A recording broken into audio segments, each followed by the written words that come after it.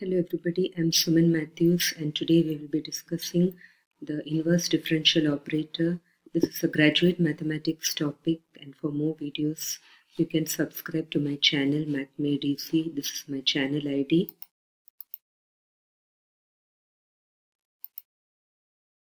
What is an inverse differential operator and why do we need it? So if d equal to d by dx, 1 by d is called the inverse differential operator and it is used to find the particular solution of a linear differential equation. And in this video, we learn how to calculate the particular integral for polynomial, hyperbolic, exponential and trigonometric functions. So 1 by dx squared is basically integral of x squared dx, that is x cubed by 3. Now e raised to ax by fd is e raised to ax by fa if f of a not equal to 0. The same formula holds for e raised to ax plus b. It is also x e raised to ax by f dash a if f dash a not equal to 0. This is if fa equal to 0, this becomes x e raised to ax by f dash a. And if f dash a equal to 0, it's x squared by 2 e raised to ax by f double dash a, provided f double dash a not equal to 0. Again, sine ax by fd squared. Having trigonometric functions, it becomes sine ax by f of minus a squared, where f of minus a squared not equal to 0. Cos ax by ft squared will be cos ax by f of minus a squared. If f of minus a squared not equal to 0, and e raised to ax v by fd, where v can be any function, it becomes e raised to ax v by fd plus a. Again, we need to keep in mind that the cos hyperbolic function is e raised to x plus e raised to minus x by 2. Sine hyperbolic function is e raised to x minus e raised to minus x by 2. Do you want to excel in maths? Believe you can. That is the first step to success. Coming to the problems, solve d2y by dx squared minus 4y equal to cos hyperbolic 2x minus 1 plus 3 raised to x homogeneous function is d squared minus 4 into y equal to 0. So the auxiliary equation is m squared minus 4 equal to 0 or m plus 2 into m minus 2 is 0. So the complementary function is c1 e raised to minus 2x plus c2 e raised to 2x. And the particular integral is given by 1 by d squared minus 4 applied to the hyperbolic function which becomes e raised to 2x minus 1 plus e raised to minus 2x minus 1 by 2 plus 1 by d squared minus 4 applied to 3 raised to x. That is 1 by 2 e raised to 2x minus 1 by d squared minus 4 plus 1 by 2 e raised to minus 2x minus 1 by d squared minus 4. Now I can modify this and write it as e raised to log 3 raised to x to the base e because it is same as 3 raised to x and 1 by d squared minus 4 applied to that.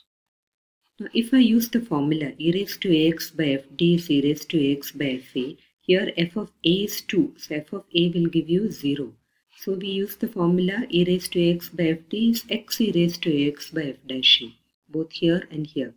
So it becomes x by 2 e raised to 2x minus 1 by f dash a will be 2d and this is 1 by 2 e raised to minus 2x minus 1 f dash d will be 2d. Here I can substitute a is 3 raised to x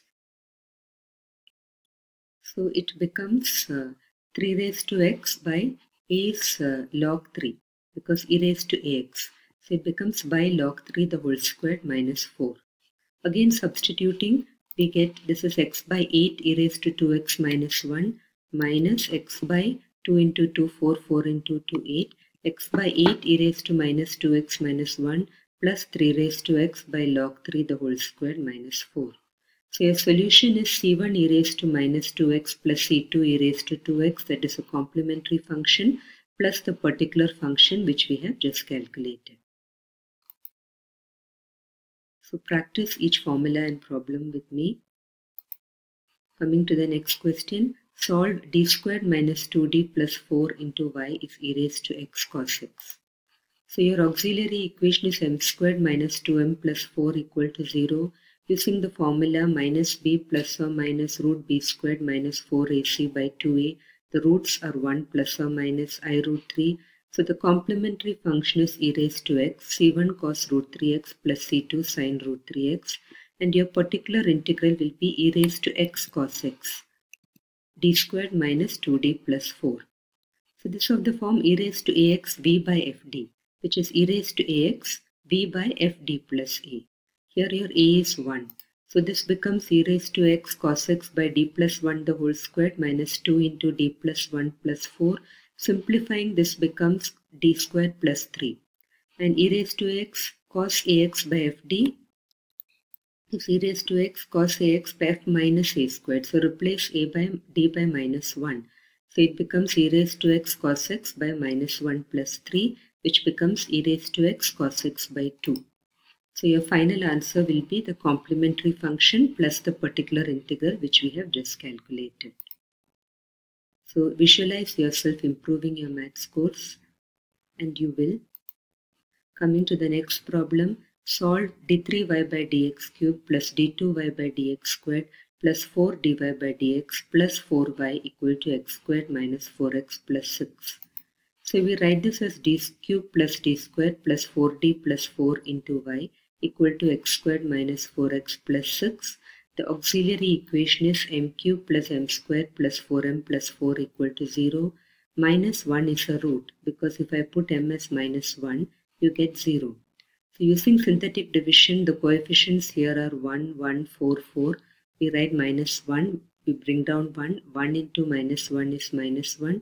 1 minus 1 is 0. 0 into minus 1 is 0. 4 plus 0 is 0. 4 into minus 1 is minus 4 and we get 0. There are three terms here. So we write it as m squared plus 4. So when you factorize, you get m plus 1 into m squared plus 4 equal to 0. So the roots are m equal to minus 1 and plus or minus 2i. So the complementary function will be c1 e raised to minus x plus c3 cos 2x plus c4 sin 2x. So the particular integral will be your expression on the right that is x squared minus 4x minus 6 divided by d cube plus d squared plus 4d plus 4.